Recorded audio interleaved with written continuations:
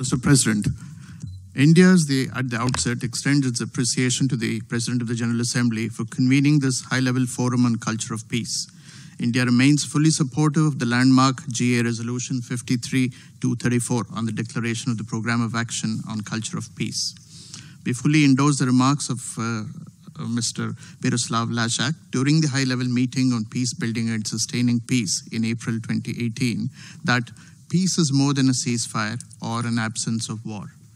We believe that peace is the natural order of mankind, and a culture of peace is the cornerstone of any global order built on inclusive and tolerant societies. It is a habit of mind and behavior that needs to be inculcated from a young age and practiced actively. In the long story of human civilization, the UN represents an attempt by na national states to create a representative platform for dealing with issues of global concern. Its work in these 70 years, through its many agencies and initiatives, has advanced the cause of sustaining a happy, peaceful, and inclusive global order. The 2030 Agenda for Sustainable Development, a developmental consensus in a future driven by climate change and possible conflicts due to the change, is only the logical and appropriate continuation of the UN's multifaceted approach over the decades towards building peaceful and inclusive societies and sustaining a culture of peace. Mr. President, as one of the oldest continuing civilizations in the world, one of India's enduring principles has been Vasudhaiva Kutumbakam, or the world is one family. If the world is one family, a culture of peace is the framework for that one family. I would like to only highlight this by drawing upon the words of one of the greatest warriors for peace and nonviolence, Mahatma Gandhi, whose 150th birth anniversary is being celebrated next year.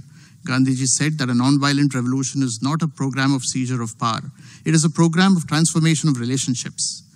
From the Vedic age in the distant past to the great teachers Mahavira and Buddha to Gandhiji, India's message has always been about the need for a culture of peace. It is maybe due to this heritage of a culture of peace that has made India home to the harmonious blending of different cultures and religions. As the birthplace of Lord Buddha and home to the second largest Muslim community in the world, we are deeply conscious and proud of this heritage, and our commitment, therefore, to a culture of peace is natural and automatic. Mr. President, a culture of peace is not just an abstract value or principle to be discussed and extolled in conferences, but needs to be actively built into global relationships between the, and among nation states. It rests on good neighborliness and a respect for the territory and the governing systems and principles of other states.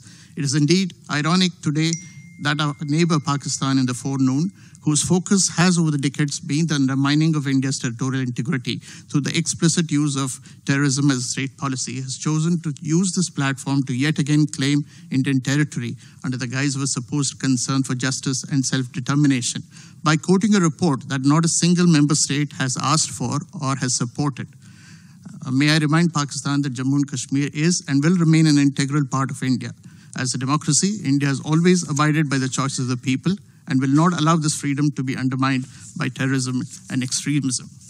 To conclude, India reiterates its appreciation of the UN's initiative of organizing this high-level forum and commends Bangladesh for its continuing engagement with this important subject. Thank you.